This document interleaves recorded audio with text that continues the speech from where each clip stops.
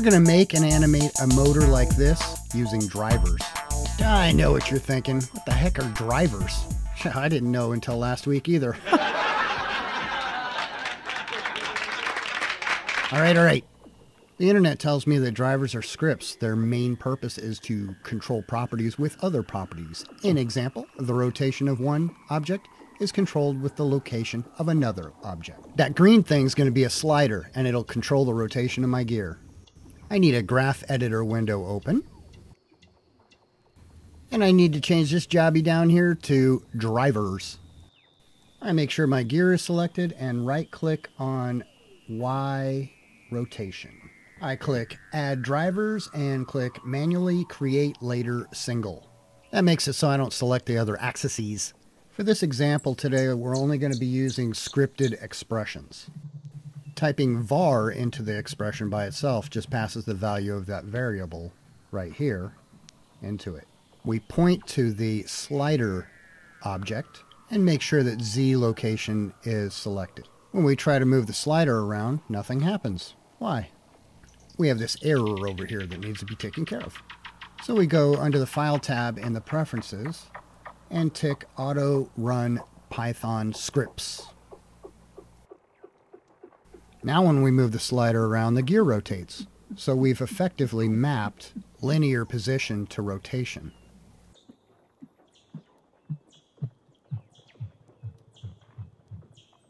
If I want the rotation to go slower, I just change it in my expression. So here I'm going to multiply by 0.1 to make it turn 10 times slower. And it works. You can pretty much drive anything in Blender with anything else in Blender.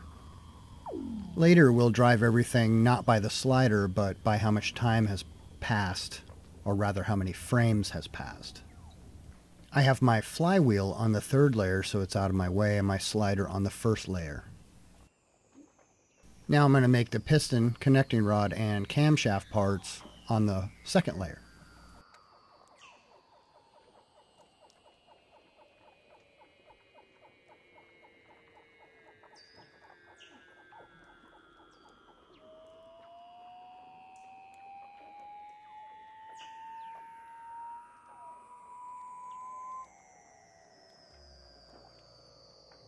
Note how I make sure that the origin of my piston rod is towards the top because I want it to pivot from there.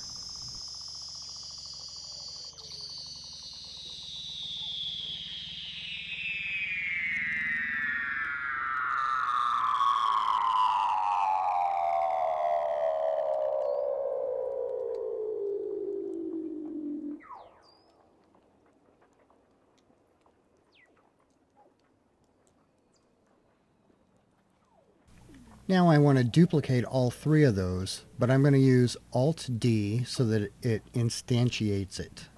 This way I can ch make changes to the originals and have it affect all the copies. Then I move those copies to first layer. This nonsense I'm doing right now is fixing an error that I made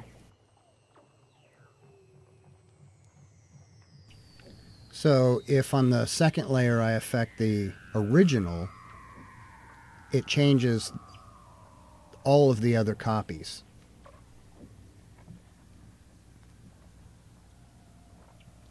See, here's the one on layer 1 that's been changed because I altered the one on layer 2. That's awesome. That'll be significantly useful for when it's all rigged up and I want to change all the pistons all at once. So now I want to add a driver on the y-axis and map it to the flywheel, the rotation of the flywheel. So this is pretty much the same thing as having a copy rotation constraint. It's not working because I forgot to type var up there to put the variable variable in the expression. Now it works good. Now I want my connecting rod to go up and down, so I need some sort of a fluctuation. And what we're going to use is a sine wave or, or sine function that's fed by the variable that comes from the rotation of the flywheel.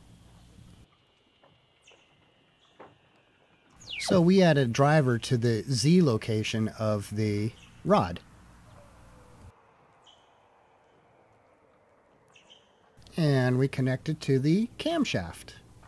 We know we want to use camshaft 001 because that's a copy of the original. And the original doesn't move at all, so it wouldn't change anything. So we want to leave this number in place where it is because we want our uh, rod to be a little higher than what the other is. And we just add sine parentheses there. Now we can't see it working, but it is. So we'll just move on to the piston.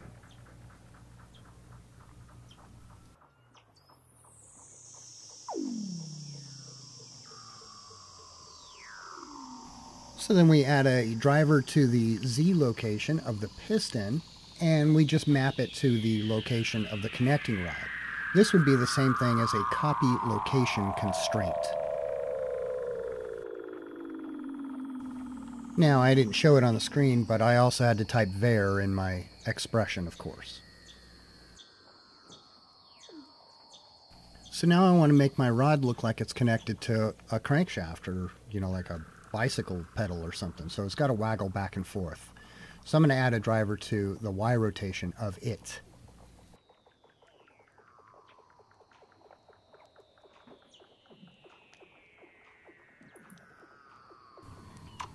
For this expression, I'm going to use cosine.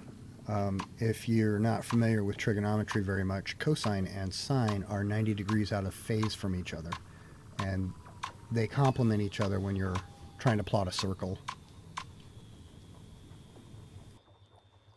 So I just want the value of cosine parentheses var times 1 for now.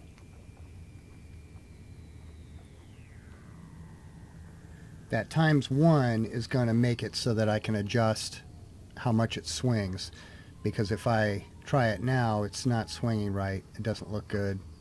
It's actually not traveling enough either, the way my slider is. So I'm going to change my sliders movement uh, from 0.1 to just times itself, times 1. So now we get a significant more movement and it's wrong because my rod is swinging way too far.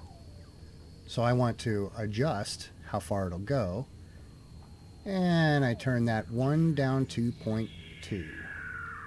Let's see how that looks. That looks way better. It almost looks right.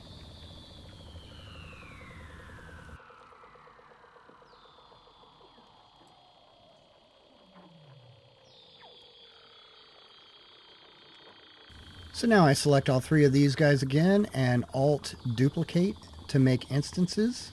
And I make four instances of it.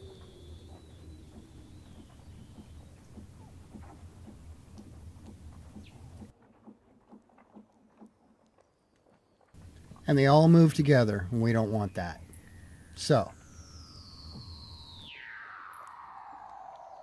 we'll select the first camshaft and add to our variable 2.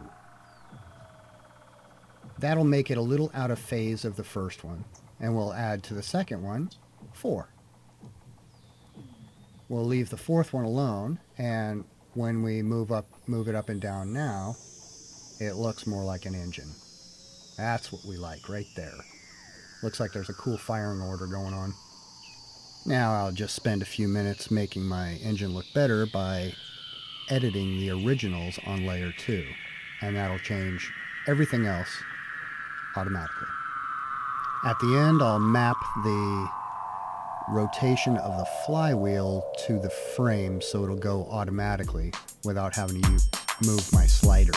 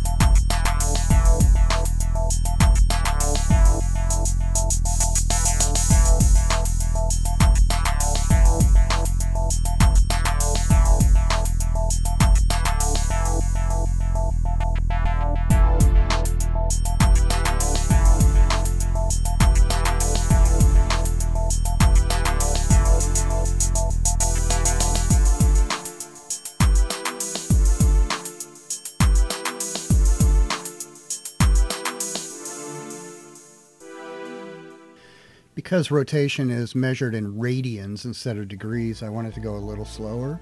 So I'm just going to type in frame times 0.5. And that'll make it go by itself.